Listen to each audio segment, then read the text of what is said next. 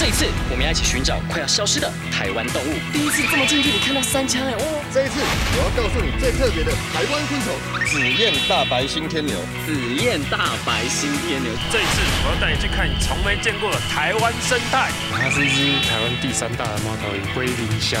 这个夏天，一起来看珍奇稀有的生物们，交朋友吧！七月三十日周六早上十一点，全新一季《好好玩自然》就在悠悠 TV。